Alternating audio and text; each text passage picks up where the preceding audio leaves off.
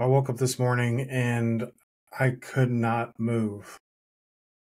The weight that was sitting on top of me as I was trying to just get the day started was so heavy. My name is Bruce Alexander. Call me Coach Bruce, and I'm a life coach for ADHD parents.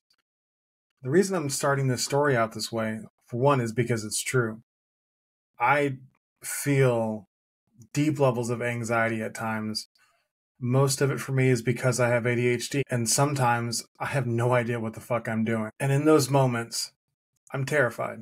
I don't know what step to take next because there's so many things running through my head, and the negative dialogue in my brain is telling me, just quit. You're not going to do anything good today, anyways. Just stay in bed. Nobody cares what you're doing. Nobody cares if you make any videos. Your clients are going to leave you at some point soon, anyways. And so I lay there in bed with an elephant sitting on my chest. And the process of breathing becomes harder and harder until it feels like I can't do it anymore. Today was one of those days. All I could do was eventually roll over and press play. I've designed my life to try to live functionally inside of this ADHD. I know there are certain things that I want to do every day. I have goals. I have a standard I'm trying to live by. Every day I want to try to expand my mind, expand my relationship with God, expand my fitness, and expand my relationship with my family. It doesn't have to be specific, it doesn't have to be exact. But if I can do something in each one of those areas every single day, then I know that I'm I'm moving closer to my goals. I'm winning.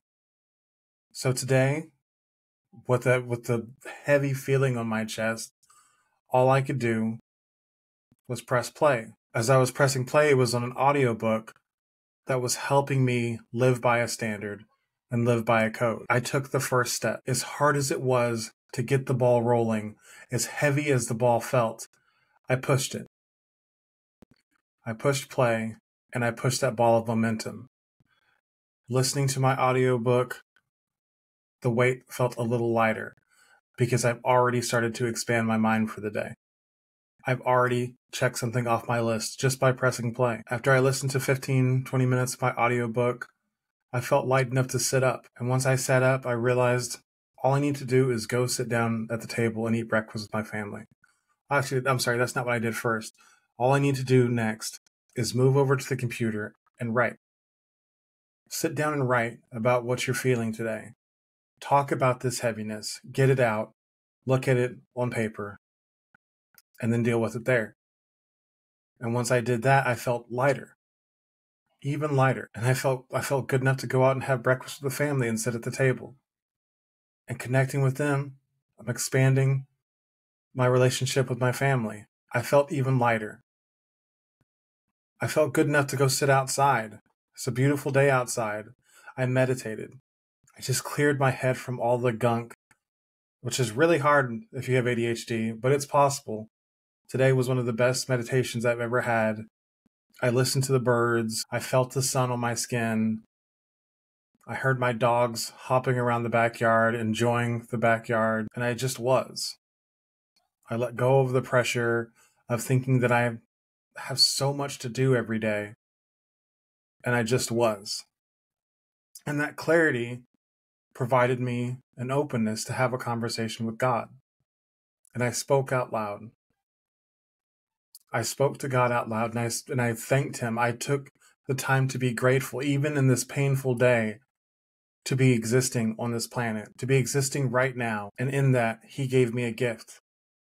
Something I haven't really felt for a long time. This is my third day off of ADHD medication, and I felt the gift of gratitude. After I thanked him, he let me actually feel grateful. And I cried. I hadn't felt this feeling, I don't know how long. I don't know if ever. Whenever I could feel my feelings before, I was too young to feel grateful. So I was thanking him for my existence and I meant it. And he gave me the gift of feeling that gratefulness. And then I felt amazing. I went from being not able to breathe, laying in bed, to less than an hour and a half, two hours later, feeling amazing. And I didn't take anything. There was no medical intervention there.